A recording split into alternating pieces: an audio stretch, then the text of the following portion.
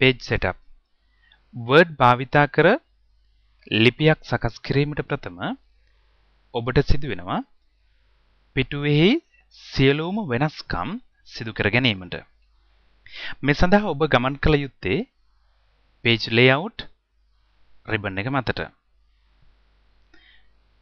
මෙලෙස ගමන් කිරීමෙන් පසු page එක setup කිරීමට අවශ්‍ය සියලුම tools මෙම ස්ථානයේ ඔබට දැක ගැනීමට හැකියාව ලැබෙනවා. මුලින්ම margins tool එක ඔබට හඳුනා ගැනීමට හැකියාව ලැබෙනවා. මෙතනදී ඔබට පිටුවේ ඉහළ සීමාවේ සිට ආරම්භක පේලිවලට එවගේ සියලුම ටෙක්ස්ට් සීමාවන් සටහන් කර ගැනීමේ හැකියාවත් ලැබෙනවා. මාර්ජින්ස් අවස්ථාවේ ටෙම්ප්ලේට්ස් ආකාර කිහිපයක් මේ ලෙස ඔබට දැක ගැනීමට හැකියි. ඔබ කැමති අවස්ථාවක් මෙතනදී තෝරා මෙලෙස වෙනස් කර ගැනීමටත් හැකියාවක් ලැබෙනවා. එවැගේම ඔබට අවශ්‍ය ආකාරයෙන් වෙනස් කර ගැනීමට අවශ්‍ය නම් margins tool එකේ custom margin අවස්ථාව භාවිතා කළ හැකියි.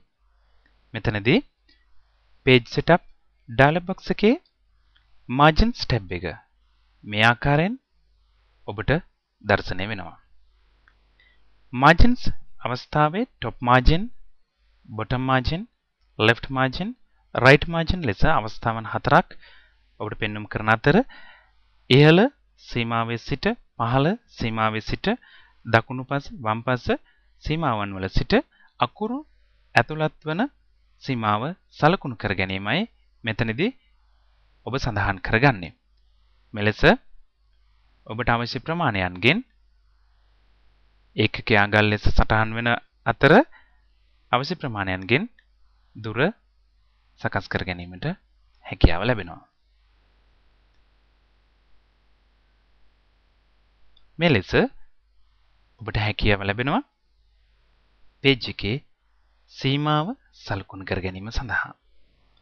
ඒ වගේම ඔරියන්ටේෂන් අවස්ථාවෙන් මෙලෙසට ලිස්ට් බොක්ස් එකක් ඔබට පෙන්눔 කරන අතර පෝර්ට්‍රේට් ලෙස හැඳින්වීම කරන්නේ සිරස් ලෙස එහෙම නැත්නම් මේ ආකාරයෙන්ම ඔබගේ ડોකියුමන්ට් එක තබා ගැනීම. ලෑන්ඩ්ස්කේප් ලෙස හඳුන්වනු ලබන්නේ මේ ලෙස තිරස් ආකාරයෙන් ඔබගේ ලිපි තබා ගැනීම. ඒ ආකාරයෙන්ම ඔබට හැකියාව ලැබෙනවා සයිස් ටූල් එකට ගමන් කර ඔබගේ පිටුවේ ප්‍රමාණ සටහන් කර ගැනීමට.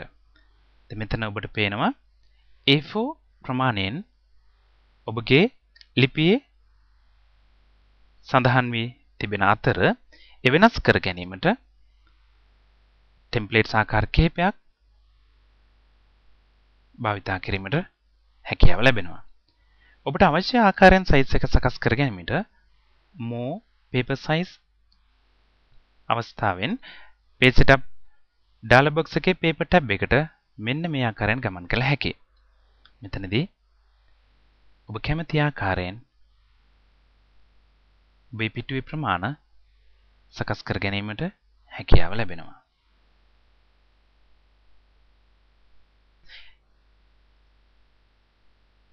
ඉහත සියලුම අවස්ථාවන් මේ ආකාරයෙන් page setup dialog box එක භාවිතා කරමින් එකවරම ඔබට වෙනස් කර ගැනීමේ හැකියාවත් ලැබෙනවා. margin paper layout ලෙස